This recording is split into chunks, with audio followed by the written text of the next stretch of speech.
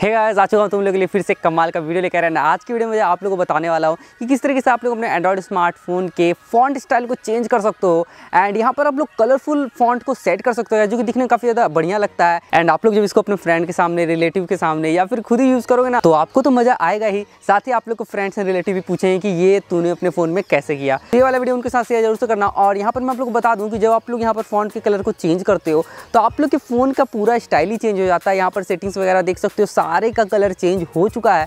साथ ही यहाँ पर जब आप लोग व्हाट्सअप यूज़ करते हो तो यहाँ पर देख सकते हो कलर वगैरह, सारा कुछ जो फॉन्ट है एकदम चेंज हो चुका है। एंड फेसबुक भी यूज़ करते हो तो भी आप लोगों को कलर चेंज देखने को मिलेगा। यूट्यूब पर भी आप देख लो, यहाँ पर कलर चेंज देखने को मिल रहा है। और ऐसे ही आप लोग मतलब पूरे फ़ोन के ही फॉन्ट को चेंज कर सकते हो। एंड यहाँ पर गैस आप लोग को फॉन्ट के काफ़ी सारे कलेक्शन भी देखने को मिल जाते हैं। आप लोग को जो पसंद आता है, आप लोग वही सेट कर सकते हो। जानना चाहते हो कि कैसे करना तो वीडियो को पूरा देखते रहो चैनल पर नया तो चैनल को सब्सक्राइब कर बेल आइकन प्रेस कर लो क्योंकि यहाँ पर मैं ऐसे ही वीडियोस लेकर आता रहता हूँ। सो हेलो गाइस मैं हूँ आदित्य और आप देख रहे हैं आदित्य यूट्यूब चैनल चलिए वीडियो स्टार्ट करते हैं। तो फॉन्ट की स्टाइल को चेंज करने के लिए सबसे पहले तो गाइज़ आप लोग को एक एप्लीकेशन डाउनलोड करना होगा, जिसका लिंक आप लोग को कैसे मिलेगा वो आप लोग वीडियो देखते रहो, समझ में आ जाएगा। एंड एप्लीकेशन को डाउनलोड करने के बाद एप्लीकेशन को ओपन कर लेना है एंड यहाँ पर आप लोगों को कुछ इस तरीके का इंटरफेस देखने को मिल जाएगा। एंड यहाँ पर आप लोगों को ग्रांड परमिशन का ऑप्शन मिलेगा तो यहाँ पर आप लोगों को परमिशन को अलाउ करना है। सारे परमिशन को अलाउ कर देने के बाद आप लोगों के सामने कुछ इस तरीके का इंटरफेस देखने को मिल जाएगा। यहाँ पर गाइज़ आप लोगों को काफ़ी सारे फॉन्ट्स ऑप्शन देखने को मिलेंगे, जिसमें गाइज़ आप लोगों को तो सबसे ऊपर ही कलर वाले फॉन्ट्स देखने को मिल जाते हैं तो आप लोग को सी ऑल पे क्लिक कर देना है। एंड उसके बाद यहाँ पर आप लोग को जो भी कलरफुल फॉन्ट्स के लिस्ट है, वो यहाँ पर शो होके आ जाएँगे। इनमें से गाइज़ आप लोग को जो भी कलर का फॉन्ट पसंद आता है, आपको उनको सेलेक्ट करना है। मुझे जो फॉन्ट पसंद है, मैं उस पर क्लिक कर देता हूँ।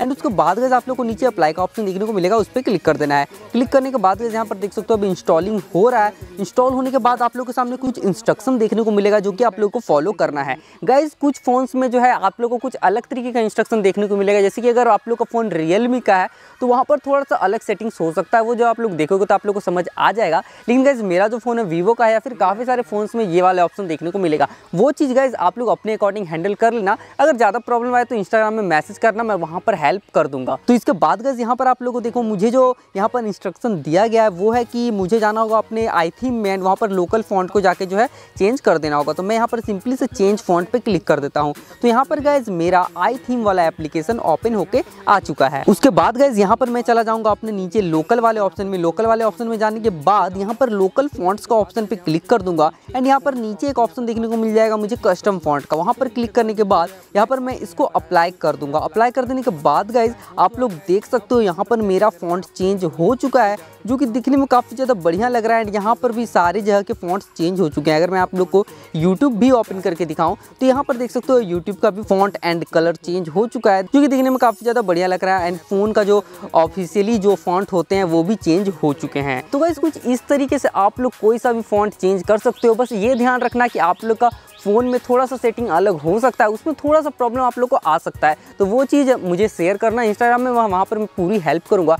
एंड बस आई होप आप लोग को ये वीडियो समझ में आ चुका होगा एंड पसंद भी आया होगा। तो वीडियो पसंद आए तो वीडियो को एक लाइक ज़रूर से कर देना और चैनल पर आया तो चैनल को सब्सक्राइब करके बेल आइकन ज़रूर से प्रेस कर लेना। अब बात करते हैं एप्लीकेशन कौन सा है? तो एप्लीकेशन का लिंक आप लोग को इसी वीडियो के कमेंट सेक्शन के पिन कमेंट में मिल जाएगा। वहाँ पर जाकर चेकआउट करो, आप लोग को लिंक मिल जाएगा क्लिक करके डाउनलोड कर लेना। बस और कोई भी चीज़ आप लोग को नहीं करना है, बहुत ही ईजी सा स्टेप्स है। तो बस गाइज़ आज की इस वीडियो में इतना ही। फिर मिलते हैं एक न्यू किसी बढ़िया से वीडियो के साथ। तब तक के लिए take care and bye bye